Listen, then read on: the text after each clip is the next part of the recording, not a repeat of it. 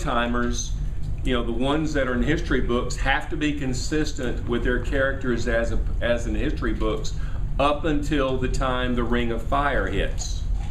And then after that, they have to be consistent with how their character might have reacted with the changes happening as a result of the uptimers coming in and changing history. Yeah, But the but- solution So it's a very, Simple. it's a very, it's a very, it's a very, it's a very bonsai, Yeah. it's a very bonsai little universe. You know, you create a little bonsai tree that looks like a real tree.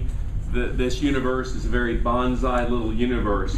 It's, it's very precise in the way, and in order to have five million words in print and, and keep it going with the consistency that it's managed to maintain, uh, is, i- you know, is, is a real tribute to the editorial board, which several members are here present, uh, to Eric for being able to put together something like this together. Having the and good open sense it to up. get the right people to do it for us.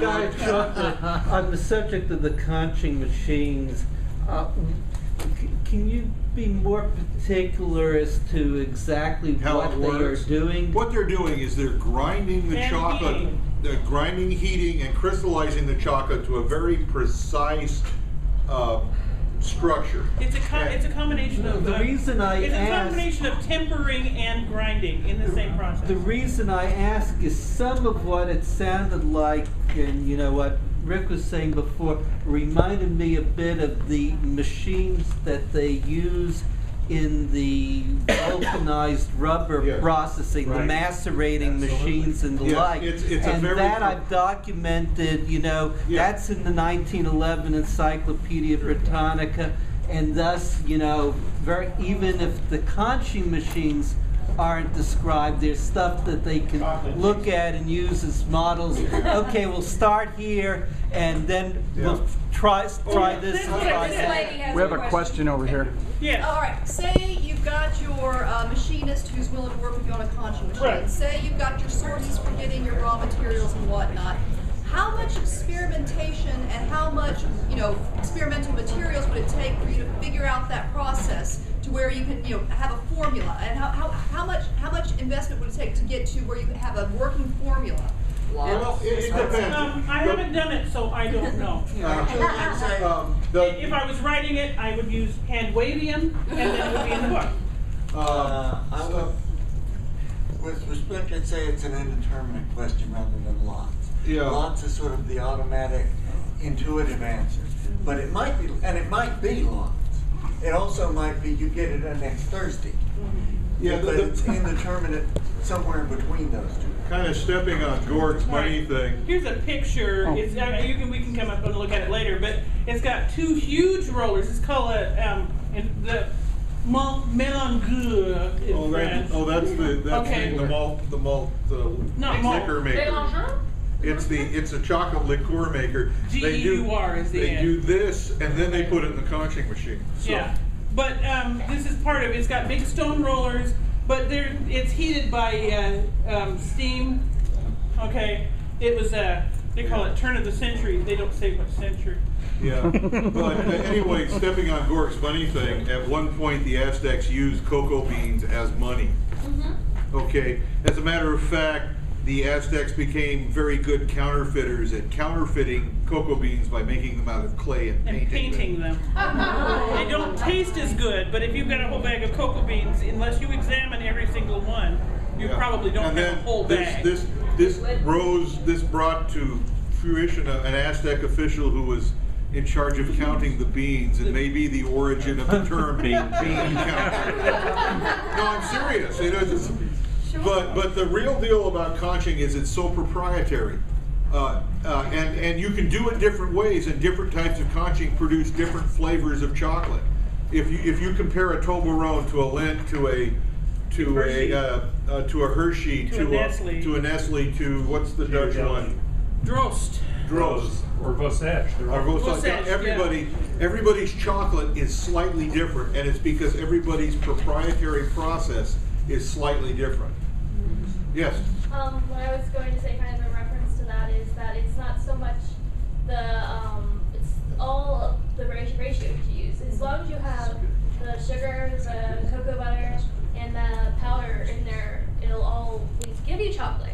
Just the quality will be different depending on the ratio you use. And, and your skill at the technique. Yeah. Okay, so that's the difference between, um, you know, Sally's chocolate shop and, and something down on, in Manhattan on the, you know, The other thing, I hadn't thought about this question, but um, a lot of this involves how much money you can get someone willing to invest in it. And there are, one thing about the 17th century, it, it this is not medieval times. There are people with lots of money. there are banks. And there are banks, and this is the kind of thing you could probably get investors to sink quite a bit of money in oh, really Oh, quickly. OPM would come in on this, wouldn't it? Mm, yeah, yeah, yeah. Yeah. As So as- yeah, as I as would think in practice, you could probably get it pretty quickly because you throw enough money at things, they'll, they- it's not like they're gonna try one thing and that didn't work, they'll try something else. They probably try about ten different ways of doing it and see which one works best. As- Yeah, the first part would be getting the cocoa beans into Germany or into. Yeah, well, there's that- the there's a delay And that's there, gonna yeah. be, so it's not gonna be thirty-three, and it's No, probably right. not gonna be thirty-four. No. So I was aiming at thirty-five or thirty-six, yeah, and I'm just aiming because of the What? time it takes. Right, so you could place an order with a Spanish factory, because they're certainly. Exactly, but So it's still gonna take two order, years to get But it. that's gonna take two- a two-year purchasing cycle just to get it physically into Germany. Right, because German has none. Right. And we're not even talking about vanilla, okay? Well, You it- don't- it If you wanna know about vanilla, it's a whole other nightmare. It might not be in Okay. Germany anyway, it might very well be And Venetians. Speaking of and which, why haven't you know. written that article yet? About vanilla? Yeah, we've There's been vanilla waiting. in the chocolate article.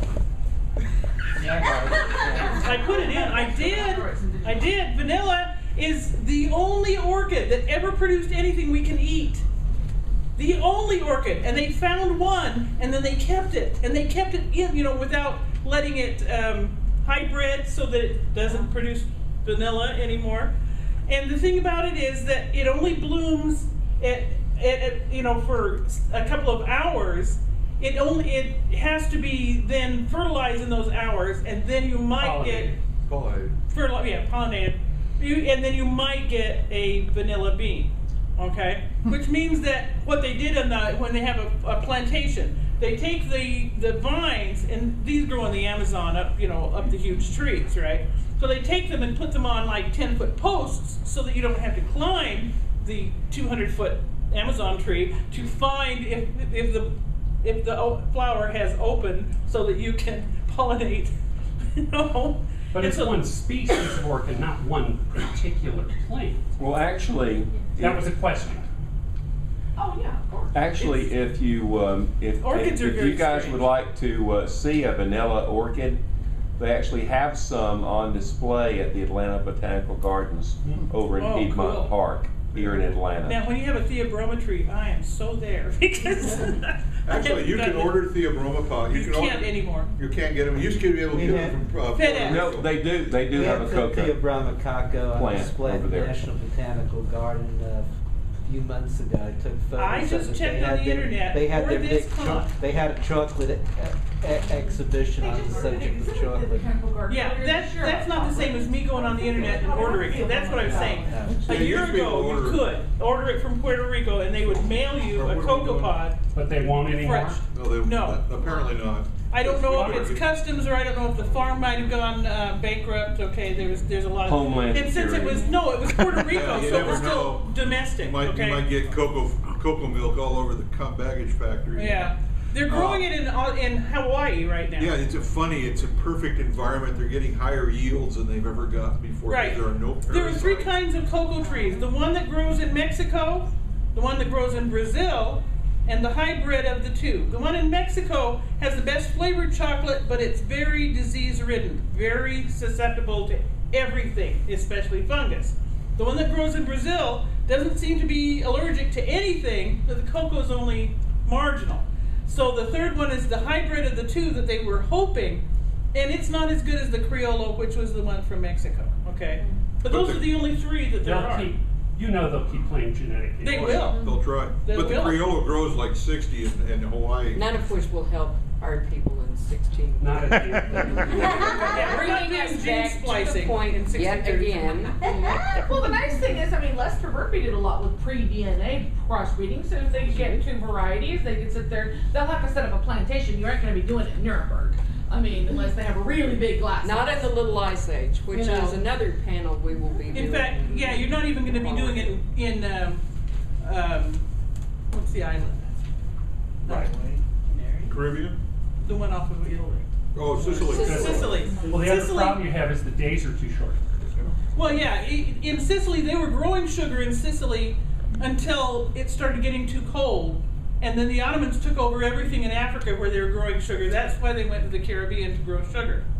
Okay? Which is when sugar got expensive because it's from farther away. But then they were using slaves, so it was less expensive. Have you got your sugar book? No. Oh. Oh, well. All right. I, yeah, I, in the article, I talk a lot about sugar. It's, um, yeah, go ahead. Um, at the time, were they just using cane sugar or did they have beet sugar? You don't want to even know about beet sugar. um, they were using cane sugar because beet sugar is a pain in the ass, and if we don't have to use it, we, We won't use it. Somebody will, you know that. Somebody will, okay, and somebody will make money on it, and they'll probably be Russian. Yes, the high Okay, school. because The you can grow high school in that her father gra- graduated from was the West Jordan Beet Diggers, Yeah, because they grew beet sugar there forever. that's their that's their uh, and and that was School you and I stop. sugar. Now Utah doesn't grow beets, Idaho doesn't grow beets. You know know you and I sugar. There actually, Okay. in, in the series, there has been a story written that has uh, someone in England experimenting with developing sugar beets. They haven't been developed yet. Is the problem. Well, that's Yeah, the- one of the problems. That's one of the problems. The other problem is getting the sugar out of the beets. Not as easy. With sugar cane, you get the piece of grass, which is about yeah. You cut the piece of grass, you put it in a roller, it squeezes juice out, you boil the juice. You're done. You have sugar. Yeah, okay? you use, you use the squeezed piece of grass as it's fuel. green, but it's sugar. They ran steam engines on this I stuff. went uh, about three years ago. I spent a week in the island of Grenada, and we toured the oldest rum Rum- rum distillery yes. in the world, or at least in the New World. And it's fascinating to watch it because they're basically doing that. And They then, cut the yeah, and then they take it and, and then they go take right it in go and further. ferment, But yeah. the the equipment. Such as it To is. the It is, extent it it is is, it is antique. I mean, it still is to this day. I mean, it's it's the They same build antique years. equipment. I don't. They, No, but I mean, it's no, just- I was in Brazil. I lived in um, I lived in Pernambuco. Okay, right in the center of the sugar plantations of the world. Okay, and I watched them. And you know, you go down on the market. We're, I mean, miles away from the sugar. They've just hauled the sugar cane in, and they'll just squeeze it and give you. You can drink the sugar juice right there. You can, you know, they'll make rum on the street. They'll make, you know, I mean, it's it's that, and it looks like they built antique equipment. It's not up to date. It's wooden rollers, and they just kind of crank the thing, and then it rolls it through, and you get juice and rats. On the subject, on the subject of sugar, which I guess is vaguely related to ch- chocolate. Cho- well, yeah, uh, chocolate's not much fun uh, without sugar. wa- Wasn't there some talk also about sorghum sugar? Yes, yes. I don't know if it, There's actually- I know there's It's been in an article. Yet another sure. article in the Gazette called White Gold, which is on the, uh, on, uh, about making sugar pay. And you had a question?